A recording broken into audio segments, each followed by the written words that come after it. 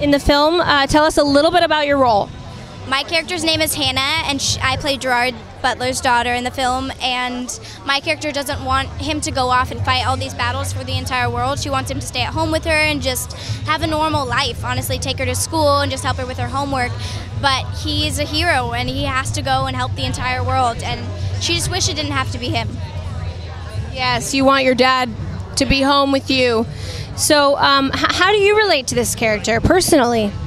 I do actually because my dad is a paramedic, so he puts himself at risk when he goes into these dangerous situations trying to help other people.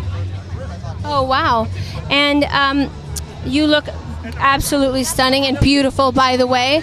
And where else might we see you? In what other what other movies or what other TV shows out right now? Um, my, my new movie comes out March. I'm not really sure, March of 2018, and it's called Love Simon.